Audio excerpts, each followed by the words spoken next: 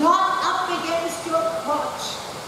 And if you haven't seen any of the previous videos, this is a very makes it very easy, especially with this exercise I'm about to show you, where our feet come together and you're pulling your knees in and out towards your chest and pushing your feet forward. Now, when I push my feet forward and I've got the dumbbell right against this near my center of gravity, virtually no effort. I basically the dumbbell is there to keep you afloat. So perhaps if some of your clients that aren't that fit or very fatigued, etc., that might be a good place. But get your dumbbell down lower, down towards the knees more. You want knees coming in and out, in and out, in and out, in and out, in and out, in and out, in and out. And then it changes the intensity. The arms are there just to help you get the knees moving in and out and twisting from side to side. So, get the dumbbell down low, it makes a huge difference. Make sure that you're showing that on the side of the core you're warning them about bringing up near the groin. And you just take the feet forwards, pull up, pull up, and you want to roll from one hip to the other. And the arms just assist, so there's no specific pattern that you need to teach about the upper body. Cool exercise. Um, is it a really big abdominal workout? Mm, I'm not sure about that, but it's a good sort of overall workout. Um, the heart rate doesn't go flying, um, but it's probably one of those exercises that you put in between something a bit more challenging. And that's this week's Tip.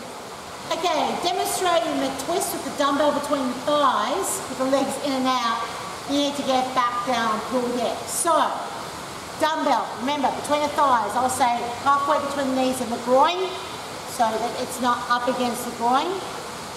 Down on pull deck. Now with this one you keep your feet together, the ankles are not crossed, and you pull your knees in and out. Now have a look what I'm doing with my arms. Either resting on my elbows or I've just got my hands resting on the floor to shift my weight from one side to the other. Remember, you want to demonstrate the legs stay pointing to the same point. So the way I normally teach it is dumbbells between thighs, feet in front of you. Push your feet to the same point in the water, but roll your hips from one side to the other. Now, one of the cool things about this exercise is you don't really need to talk about the arms. So your arms won't make a difference about the way they'll move. What you want to focus on is that they roll, they roll from one side to the other, okay, and that their feet go to the same point. They're not taking their legs, like for example, from side to side. It's not the demonstration of the exercise. So legs go directly in front. The reason why I make a point of this is that sometimes my participants confuse it with another exercise and they think I'm just being lazy and they take their legs all the way from one side to the other, which is a slower movement and for the tempo of the music I've chosen it to be for a specific purpose. I want their legs to stay out in front. So that's why I make a real point of saying that.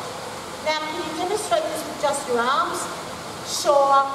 Once you've demonstrated this with your dumbbell between your legs, you say, okay, now roll your hips from side to side. Look, I would only ever resort to that if I was injured or if, say, the environment that I was working in wasn't really appropriate for me to sit down. But um, I think it's a really it's a last resort move. This sort of business, uh, I don't think really demonstrates the exercise very well. It does make you look like you're tired or perhaps want to be doing something else as an app instructor um, and not really engaging with your class. So the best one is to actually demonstrate a proper good demo on the ground, and none of this stuff with the arms. Um, you might want to show that the hips roll from side to side after maybe a couple of demonstrations like that so that they get the idea that they're rolling their bodies. But that would be, again, last resort. And that's this week's Tip.